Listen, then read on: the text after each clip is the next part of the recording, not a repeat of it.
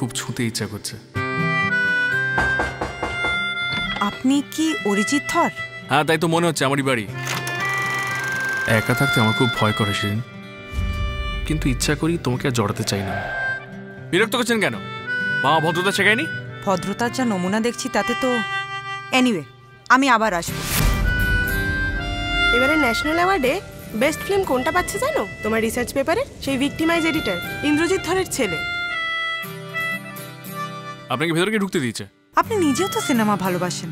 তাহলে কেন হেল্প করছেন না?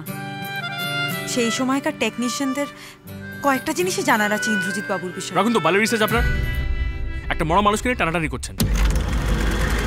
ইন্দ্রজিৎ দা তখন চুটিয়ে ছবি কাটছে।